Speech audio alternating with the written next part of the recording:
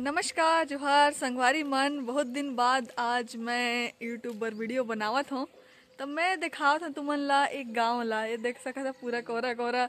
अभी नवंबर के महीना चलत है।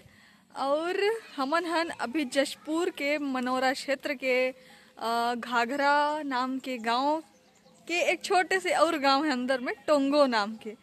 तो ये गाँव में हमन आए हैं अभी कुछ दिन भर विज़िट करे बर। तो देख सकत है, गाँव ह कितना सुंदर दिखत है अभी सुबह के लगभग पौने आठ होए वाला है। तो पौने आठ भी नहीं हुई सभी।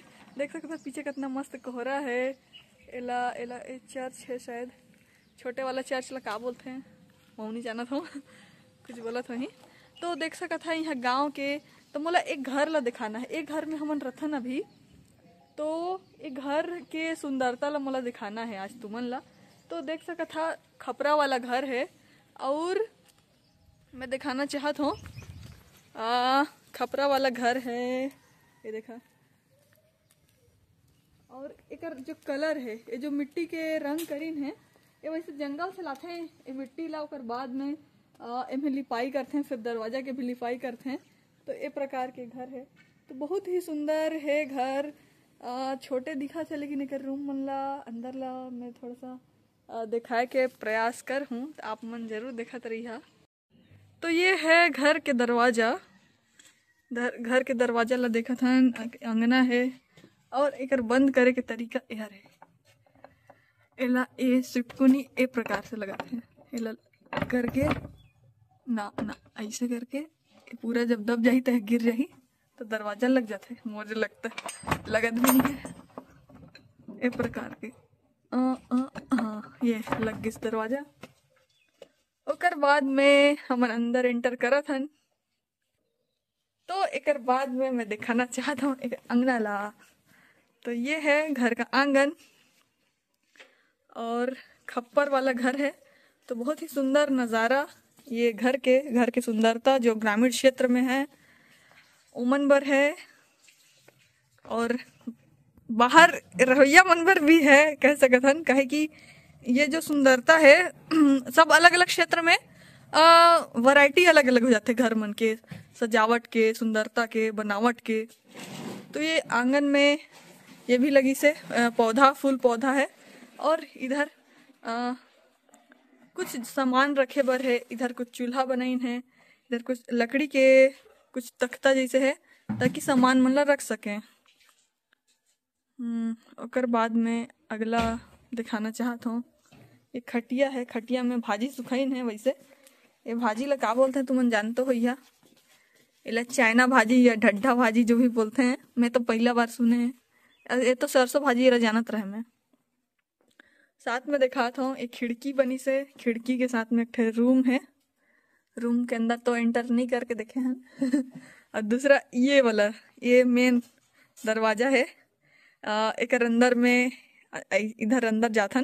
तो ये वाला किचन है मतलब रसोई घर। अंदर में एक रूम, इधर रूम और एक और उधर रूम है। और ये है आईना। तो ये है गाँव के एक मकान के, खप्पर वाला मकान के सुंदरता। और एक आँगन में विभिन्न प्रकार के पेड़ पौधा जेकर सुंदरता व लगा, लगाइन है। तो जेमन घर के सुंदरता ला और निखार देते हैं। और बहुत बहुत ही औषधीय पौधा भी यहाँ लगाइन है मन। एला ब्राह्मी बोलते हैं या फिर बेंगचा भाजी बोलते हैं यहाँ के मन?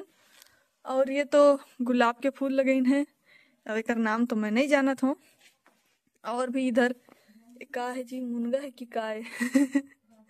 और उधर नींबू के पौधा है, तुलसी है, और भी विभिन्न प्रकार के है। और साथ में इधर लकड़ी भी रखीन है ताकि आगी बार लें। इधर सील बट्टा है जला सील लोढ़ा बोलते हैं हमारे गाँव में। तो मतलब विभिन्न प्रकार के जो चीज़ है एक, एक ही घर में छोटे से घर में उपस्थित है। इधर तो वैसे टीवी पर ये सिग्नल वाला खूंटा लगाइन है छतरी लगाइन है साथ में बगल में शौचालय है। और पानी के व्यवस्था पर उधर नल लगी से उनमें से पानी आते। तो ये प्रकार के घर है और बहुत ही सुंदरता के एक हन।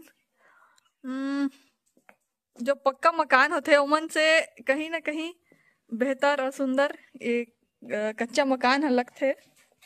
और जैसे कि हम जाना था आजकल सब आ, मिट्टी के घर ला तोड़ के ओकर ऊपर में पक्का मकान बनाते हैं और समझते हैं कि मिट्टी के घर से मतलब पक्का मकान बेहतर है।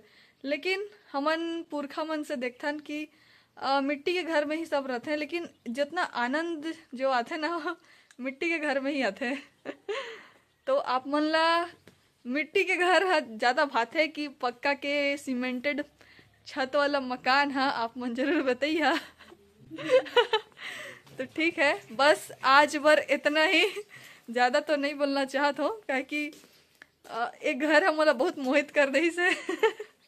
यहाँ के जो रंग है यहाँ के जो सामान है और यहाँ के जो रहे में जो एक अलग प्रकार के जो सुख है आनंद है वो मिलते तो ठीक है बहुत बहुत धन्यवाद आप मन के सब्बो संगवारी मन के जसपुर क्षेत्र में रहे हो यहाँ आए हो तो यहाँ के भाषा भी कुछ कुछ प्रयास कर हो सीख लो। जैसे कि सब्ज़ी ला का बोलते का बोलते दीदी सब्ज़ी ला तियन। तियन। अच्छा मैं तो बस इंदिरा आमखी मोखोए जानत रहे तो मैं सोचे कि आमखी मतलब सब्ज़ी होत ही मोखोए मतलब तो खाना होते का? हाँ मोखोए या फिर मोखदन, ऐसे बोलते ना? एक लाइन और सीखे हूँ मैं। आ, एन सरगुजा तीर बर्च की रैन ठीक बोले ना दीदी? बस मतलब कि मैं सरगुजा ले आए हूँ, इतना बोला था ठीक है, संगवारी मन, आप सब मन के धन्यवाद। जोहार।